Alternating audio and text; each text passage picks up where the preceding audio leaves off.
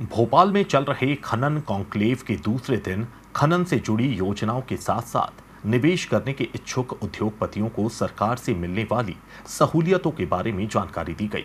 Conclave के दूसरे दिन मध्य भारत के सबसे बड़े व्यावसायिक समूह, डीजियाना समूह के एमडी तेजिंदर पाल सिंह घुम्मन भी शामिल हुए। उन्होंने सरकार के प्रयास की सराहना भी की।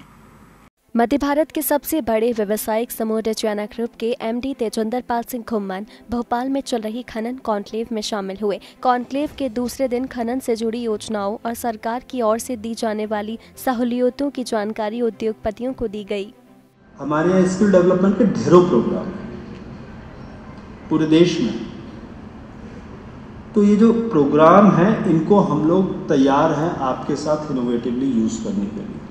आपको मान लीजिए अपने माइंड में हज़ार लोग लगाने हैं, हज़ार लोग की स्किल ट्रेनिंग करनी है। आप खुद ट्रेनिंग कराइए, हमारे स्किल डेवलपमेंट डिपार्टमेंट के साथ हम कॉन्वर्जेंस कर देंगे। स्किल ट्रेनिंग में जो इंसेंटिव दिए जा सकते हैं हम आपको देंगे। इस कॉन्क्लेव में डिजियाना ग्रुप के एमडी तेजिंदर पाल सिंह घुम्मन ने कॉन्क्लेव में आए देश प्रदेश के अन्य उद्योगपतियों से भी मुलाकात की।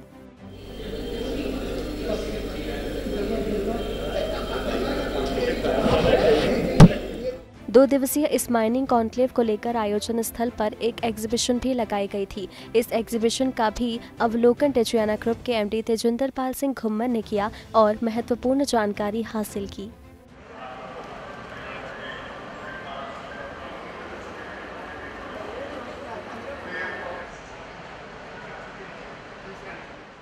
मध्य प्रदेश सरकार के इस आयोजन को लेकर डिजाना ग्रुप के एमडी तेजिंदर पाल सिंह घुम्मन ने इसकी सराहना करते हुए सरकार के प्रयासों की प्रशंसा की। देखिए, ये जो इस बार गवर्नमेंट ने इनिशिएटिव लिया है, अभी तक क्या होता था कि कोई भी इन्वेस्टमेंट प्लान्स या जो भी इस तरीके के प्रोग्राम्स आते थे, उसमें से एक बहुत छोटा सा आधे घंटे का, एक घंटे का स्लॉट सिर्फ़ माइनिंग को दिया जाता था।